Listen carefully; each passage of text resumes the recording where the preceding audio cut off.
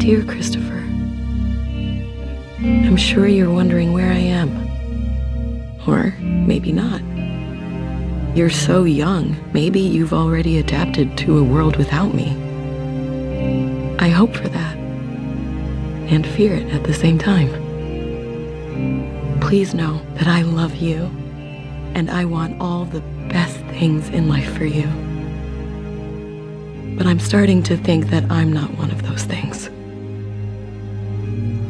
At least not right now.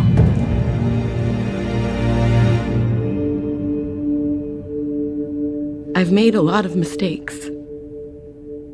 They weigh on me. Some days it feels like they're gonna pull me under.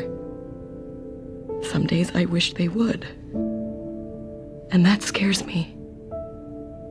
Not for myself, but for you.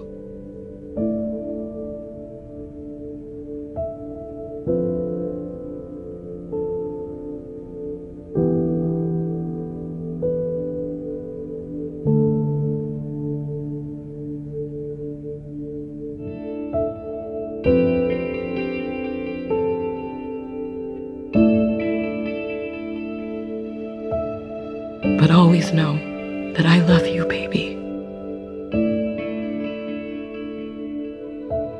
Even if it's from a distance.